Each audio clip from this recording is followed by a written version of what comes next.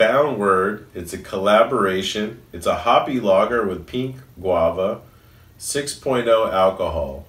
It's Stillwater, artisanal, and against the grain smoke house and, And brewery. And brewery.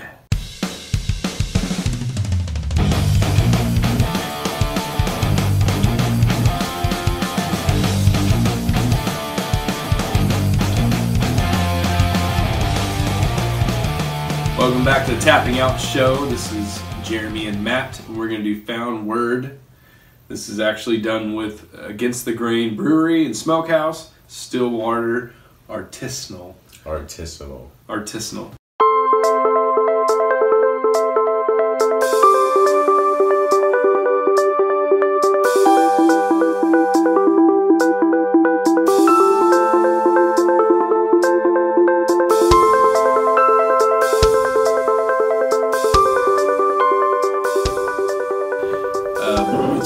Things that Matt's actually been looking forward to all night. It's a collaboration beer. It's it's gonna have some guava in it. Um, pale ales usually aren't really his thing. IPAs are. This is a little bit less than what I'm expecting. This is a hoppy lager. Hoppy guava. lager? Hoppy lager with guava. Well, me and you have two totally different styles. You like the darker, strong beers. I like strong IPAs that easier to throw down. So beer, we try to find beers that we like of each other's styles and beers that meet in the middle. This could be something like that, depending on how it is. Well, know? I that- kinda think that's one of those things. I kind of think with the hop and the guava, I mean, it's going to add that extra kick to it that might really give it over the edge of most lager hoppy lager combinations because this be, this is becoming kind of a thing. This whole hoppy lager concept, and I really think it's because of the IPA phenomenon that has really gone global, where people love the fact that they can get something pale like pale ales and make it have so much flavor that it's it's palatable to a lot of other people. So to get a hoppy lager, lager is very palatable around the world. I mean, lager beers are, I mean, almost international. Almost every country has their own style of a lager beer. I mean, even Japan with the rice lagers. I mean, they're or even pilsners. It, it to me, this concept of adding hops and then on top of it guava might actually be surprisingly really good.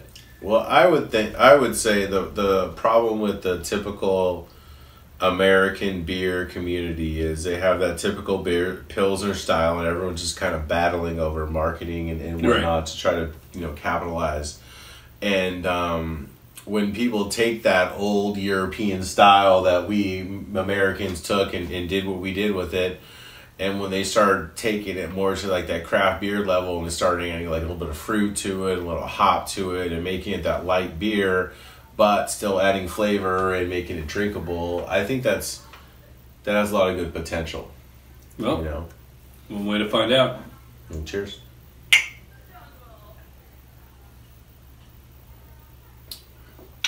You definitely smell the guava.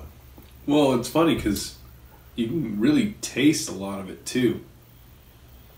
I don't really taste the hops as much though. That's the kind of funny part to it. I mean, it's got a little bit of a kick to it. It's a little dry, but the really, taste. really nice, clean, drinkable beer. Six percent alcohol. So it's almost like your typical American, you know, pilsner beer when it comes to drinkability and alcohol volume. Well, but you know, with the most American lagers, you don't really get that dry finish, and you don't really get that little bit of flavor to it too. So it's kind of actually, I wouldn't say a punch in the face, but because it's really subtle. It's not very like demanding or drastic. It's it's kind of like oh, easy drinking, but flavor. You know what I mean? Like would say that I would say that it's easy drinking like a typical American beer, and um, some flavor in the end. Now, personally, it's not my thing. Um, I don't like lager beers anyway. It's just too light for me. But the funny thing is, is with the little bit of hops to it, it kind of gives it a little heaviness that makes it almost. I wouldn't say pleasurable, but at the same time, kind of brutal. like I don't know how else to explain that one, but it really does have a unique taste to where I can't really compare it to anything else that I actually enjoy it. I It's do. a good I mean, beer. It's clean. It's easy to drink, and it has a lot of flavor. You know, you can't ask for too much more uh, for a six percent beer. well, you can't ask much more for a lager beer. Yeah, I mean, exactly. I'm gonna say, on my count, one out of five, five being the least, or five being the best, one being the least. I'm gonna say, I'm going three point seven five. That's what I was thinking too. Three point seven five. So tapping out shows going three point seven five out of five. It's a decent beer for a lager. This is great. This is better than any American lager I can think of. It's got a nice taste to it. The guava doesn't really take center stage. I almost to say the hops do, and that's fine. It gives it a kind of a heavy feel to it. The guava kind of gives it that little aftertaste where you're kind of going, yeah, you know, that's kind of that's kind of good. But good beer in either way. So check them out. Good collaboration for sure. Oh yeah, no against the grain. You know what? We we haven't had many beers from them. Louisville, Kentucky. I've heard some big things coming out of them. Same thing with like Cleveland, Ohio, and Michigan.